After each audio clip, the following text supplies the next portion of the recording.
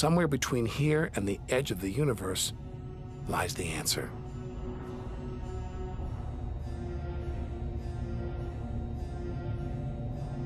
Luminous clouds suspended in space, encircling what was once a star like our own sun.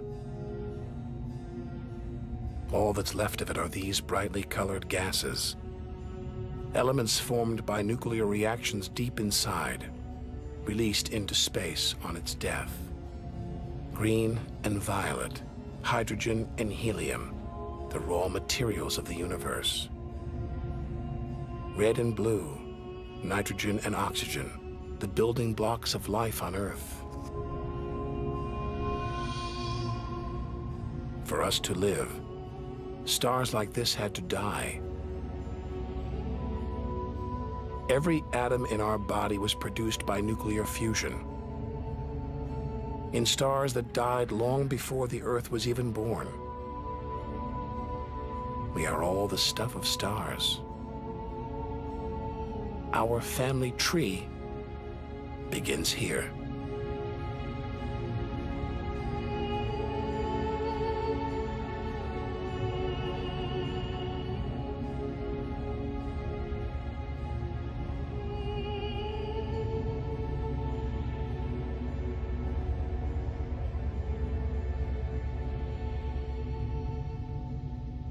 At its heart, the ghost of a star.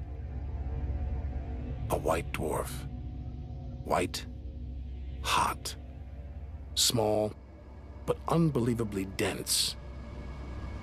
In the star's dying moments, its atoms fused and squeezed together, making it so dense that just a teaspoon of this white dwarf would weigh one ton.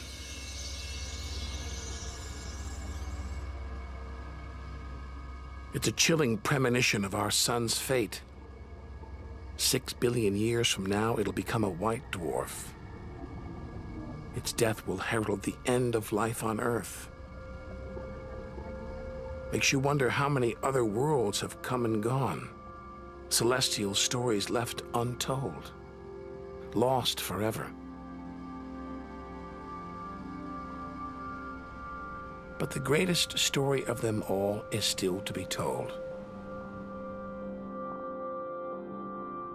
We must go back through time to the very first chapter to learn how the universe began.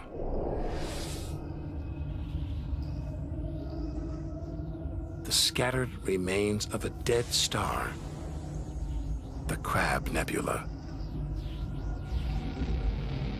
6,000 light years from home, deep inside a stellar graveyard.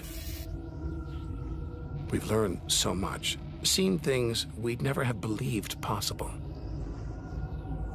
Now sights like this, wonders once beyond imagination, we take in our stride.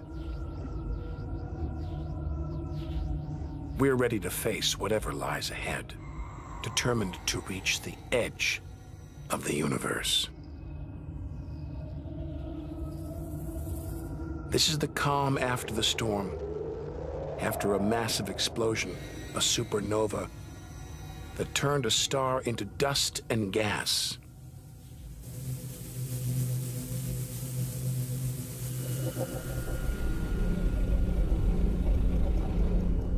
The eye of the storm. A spinning, pulsating star.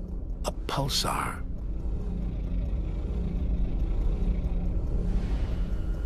Gravity has squeezed the giant star's core down to this. It's just 12 miles across, unimaginably dense. One pinhead of this would weigh hundreds, maybe millions of tons. And as it shrank, like a figure skater spinning on the spot, arms outstretched, then pulling them in, it began to spin faster. Two beams of light, energy, radiation, spinning 30 times a second, powering the huge cloud of dust and gas.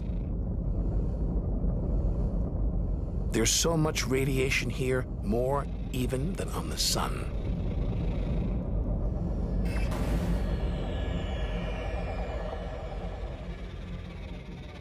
That was easily the deadliest thing we've encountered so far.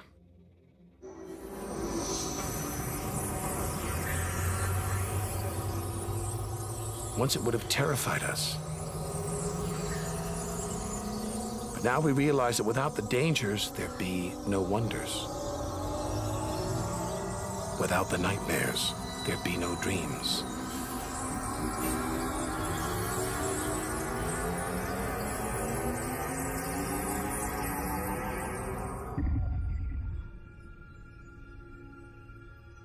Getting a strange sensation. A feeling as though there's something bad out here.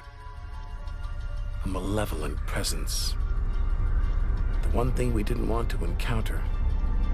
Impossibly black, blotting out the stars behind it. We're staring into the face of extinction. The remains of a giant star. A black hole.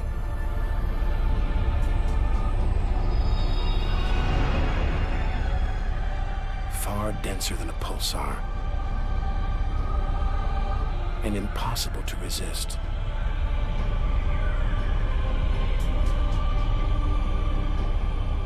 Its gravity is so intense not even light can escape.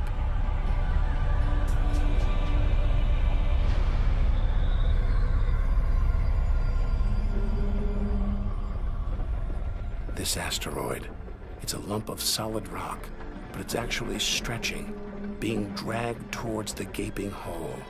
Inside, there's no matter as we know it. No time, no space. All the rules of physics collapse.